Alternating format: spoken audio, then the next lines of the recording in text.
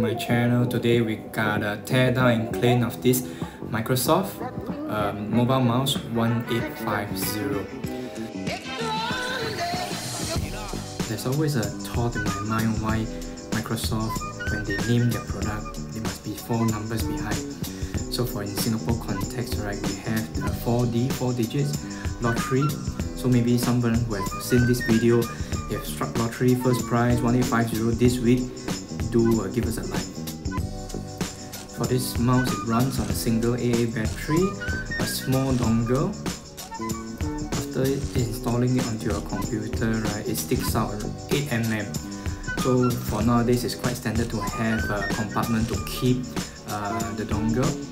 So all this is a not sponsored video. Okay, I did some measurements on this mouse. The tip of the mouse to the base of it is 11 mm so for me um, my wrist is uh, from the middle finger right to the base of the uh, palm right it's 18 cm so um, when holding it right the palm actually sit nicely on the table. So let's move on to the uh, dismantle of this uh, mouse. First of all on the left and right click you need to pry it out a bit then using the plastic tool to shift and uh, slowly pry on both sides to remove uh, the top shell so it's being held up by four clips. Um, so those who are uh, first timers please be very very careful because these plastic clips are very very small. So it tend to break or, or get bent.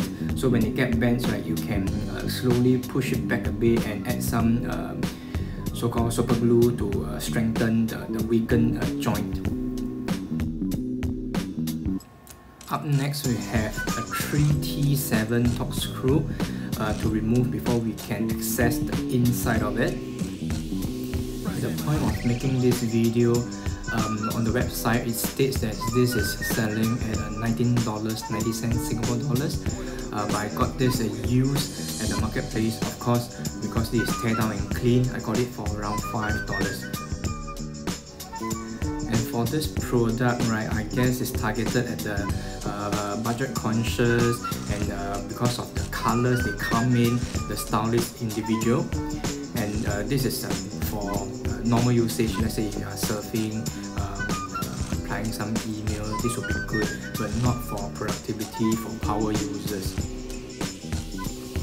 Because function-wise, there's only a left, right, center click and the screw wheel. So it would be very very nice if there is a forward backward button, left right scroll, but of course there's another product that is uh, targeting this uh, segment. So we have a first glimpse of the inside.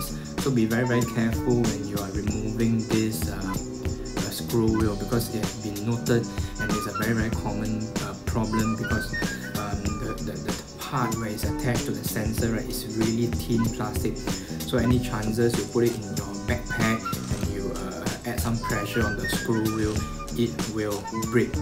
So there's some modification uh, can be done. I have made it in my first video. If you like to fix your own you can go back to my first video and uh, check it out. So on the board there's a few uh, Phillips screws you need to remove it first then the whole box comes out. So from here right removing the screw wheel will be much easier. So uh, the parts are quite standard. Phillips screw for the, on the board and the Torx screw for the outside case. So you don't need to do any um, so-called logistic to keep track where the screws go to. For this video I'm using the Lenovo singing mic that I hijacked from the wife so uh, guys if you have some comments about this mic uh, do let me know. But I have another new mic coming up which is the uh, ATH 2100X from Audio Technica. So stay tuned for the um, commentary upgrades. So back to the uh, PCB board right? We have some uh, fairly standard parts it here. The prism the IC the sensors. So uh, it is a basic uh, mouse. And uh, with some use you'll find some dirt inside there because um, mouses are not like handphone there's IP rating waterproof. So with the scroll wheel right that's the point of entry where some dirt will go away so um, for the switches is this Calif uh, switches are quite standard for a basic mouse. But however uh, if yours is uh, uh over click uh, past its lifespan it's quite easy for you to find some replacement.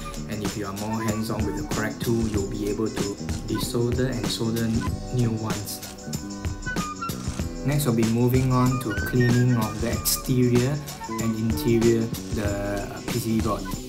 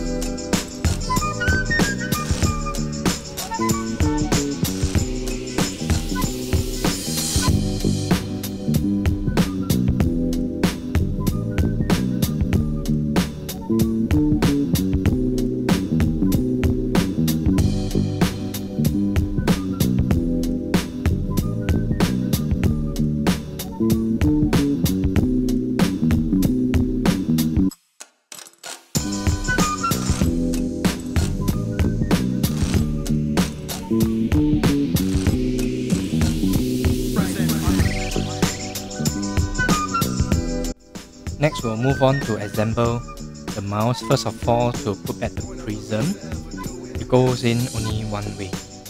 So if it doesn't go in, then it's the wrong way. So here one tip to assemble the uh, board, right? Uh, Microsoft they have did this uh, uh, so that the battery lead has somewhere to sit in so you need to uh, it's a very very slim line. So you need to make sure the front and the back of the lid uh, sits in it. And uh, you'll be able to push it in pointed with uh, a screwdriver.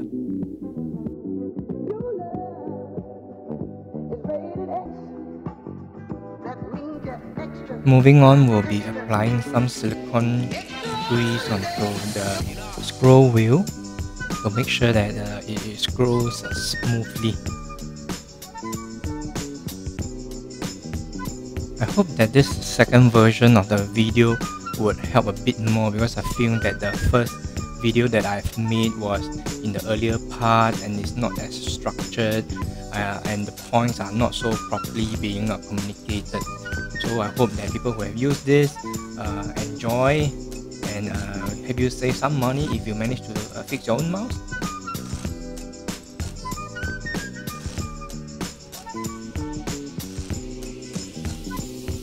Miss out cleaning the scroll wheel just now so we'll just give it a quick wipe. Uh, it isn't really dirty to, to start with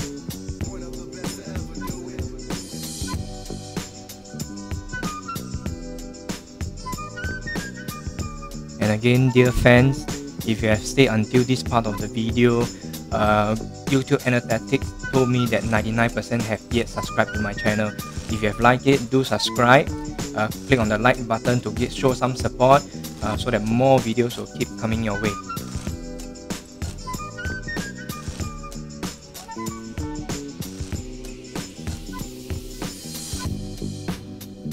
The addition of a silicone grease helped quite significantly because on the later part or the newer uh, videos uh, regarding this tear and clean I feel that the overall scrolling is smoother uh, and more fluid.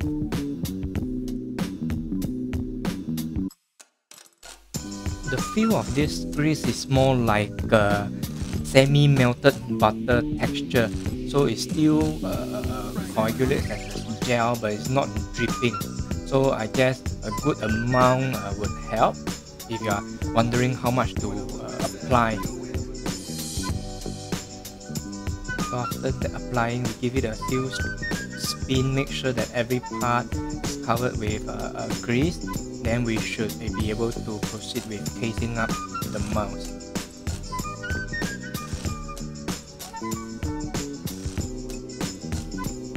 so do remember the screws for the board is the Phillips style, the cross style ones, a couple of them.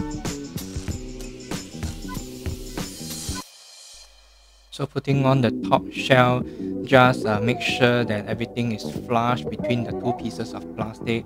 The screwing is okay, but however for this case, right, we need to add on the, the top, the upmost top piece before we can try clicking the uh, left right button. So putting one battery we see red light flashing so it should be good. Then we will be able, uh, in this case we'll have to fasten all three uh, top screw and uh, do the testing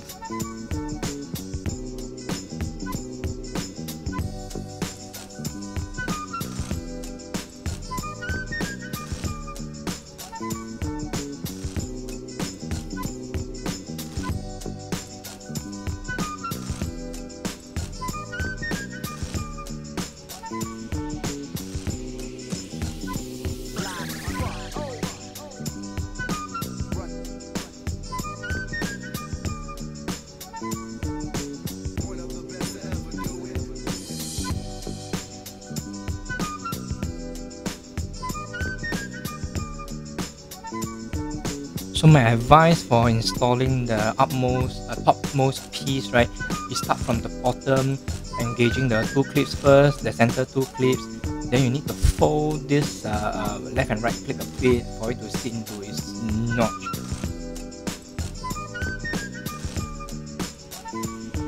So we have come to the end of the video. Thumbs up if you have liked it. Signing off, this is Restore Refurb Werks. See you in the next one.